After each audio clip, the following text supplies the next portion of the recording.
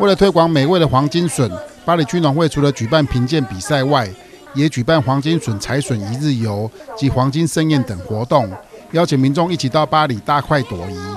不过，今年因受天候影响，黄金笋的盛产期缩短。巴黎区农会提醒想尝鲜的民众，可要把握机会。因为今年是节气比较晚的关系，哈，我们整个竹笋的生产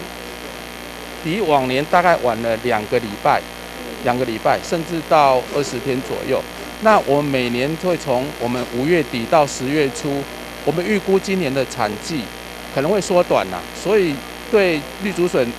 喜欢绿竹笋的一些消费者，我们希望大家能够把握机会。今年黄金盛宴将于八月十九、二十日两天举行，邀请国宴主厨水蛙师亲手料理十道以黄金笋入菜的佳肴，原价一桌六千元，特惠价只要四千元，限量七十桌，额满为止。巴黎这边出产的笋子呢，它的纤维非常的细，然后甜度非常的高，所以搭配上我们的这些料理呢，可以提升我们所有料理的它那个甜度跟它的鲜度。然后搭配上我们的一些新鲜食材，就能做出一些好料理。